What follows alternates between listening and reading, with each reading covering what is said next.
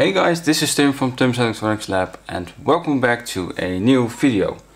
Now in this video we're going to address the mistake that I made regarding the earthing of the Feel-Elec FY6900.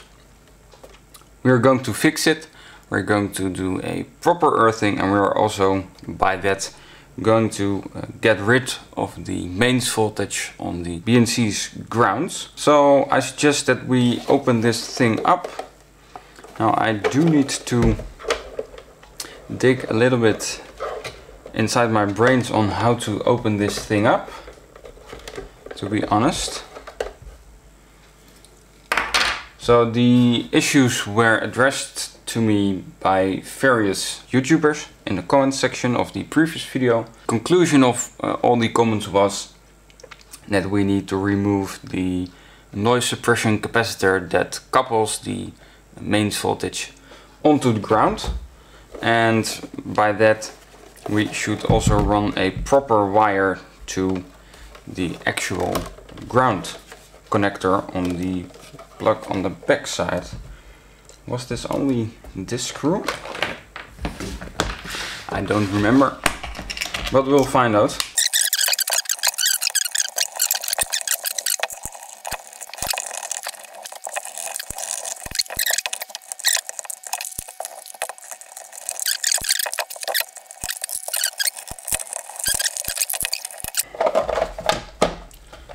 So with that removed we can open this up and here you can see my enormous botch of just straight uh, collecting this thing straight to earth with a resistor. So the resistor is over here at the mains connectors end. And I'm hoping that we can just um,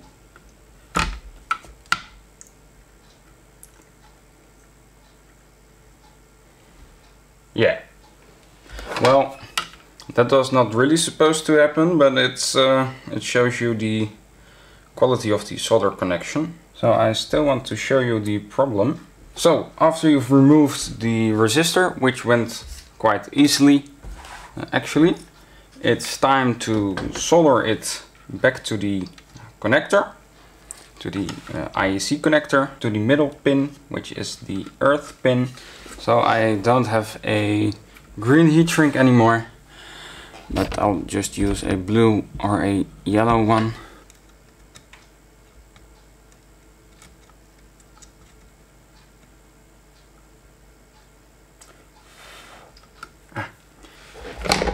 and let's check what the resistance is from the earth lead zero ohms. So that's good.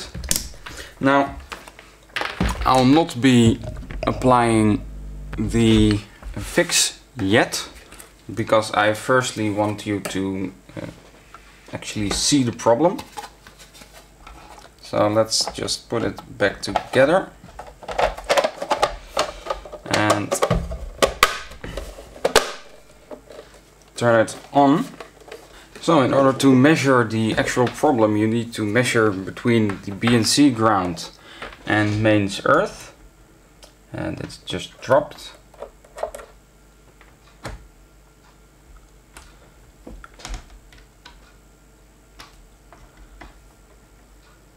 We need to open up the device. And we need to desolder a certain capacitor. And that will fix the problem now there might be some capacitors left charged up, so we're going to actually check the voltages and try to get them to deplete. Put it on low impedance mode and just randomly probe around a little. There you go, that's why you don't actually just...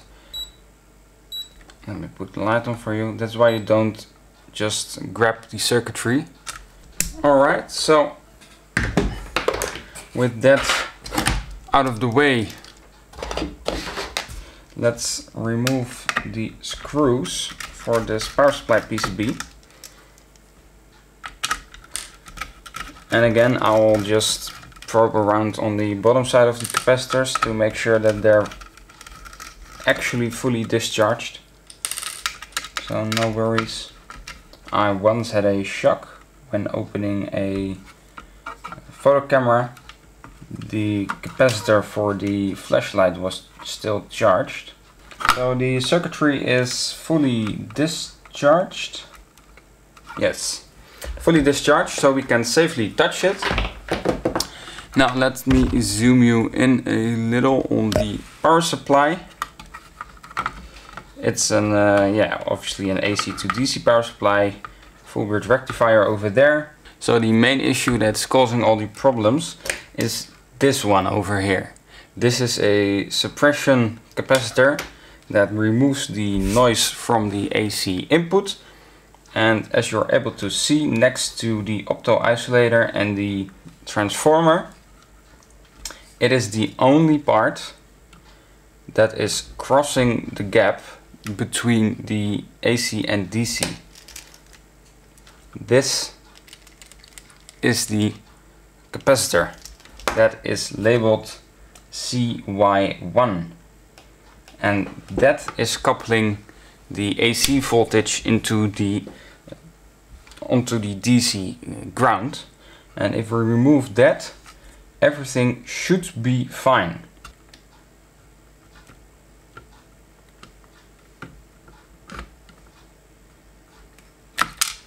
Oh, there we go. So that is the capacitor removed. JEC 400 volts. Y filter capacitor. So as you can see there's a big gap over here now, which is fine. let's screw this power supply back in and let's actually test it out.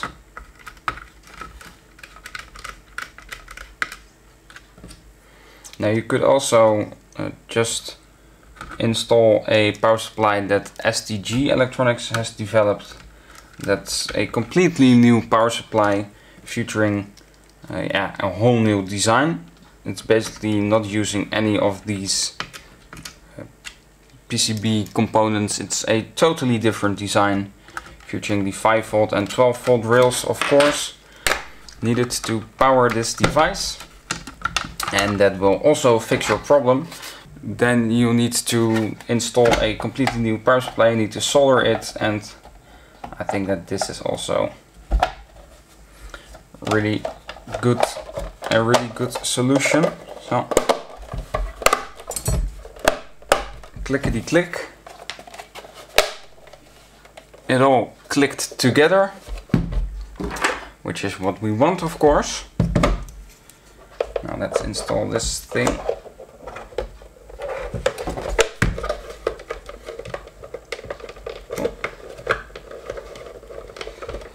Like so, and turn this on. And you are able to see that the thing is booting up just fine. Now let's actually perform the same measurement as we just did with that capacitor installed.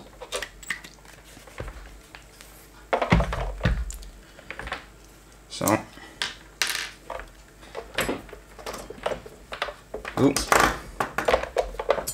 BNC ground, earth, zero volts, and this is also, oh. So this is also fine, I guess. One and a half volt, but between uh, BNC ground and earth, there is zero volts. So that means that the issue has been fixed without a resistor. And well, it still didn't blow up. The outputs are still working. So I guess that that's a, uh, a winner for this one. Let me put this screw back in here. We'll call this one a wrap.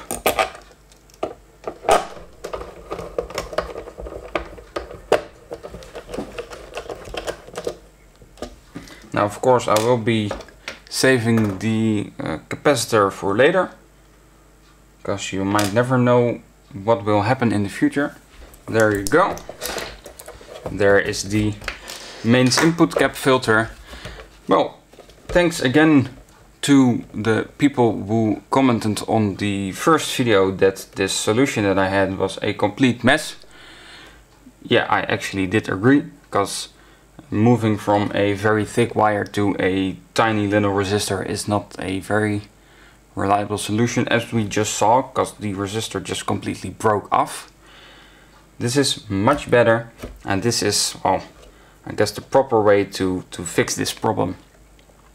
So thanks again to those people and thanks for watching this video.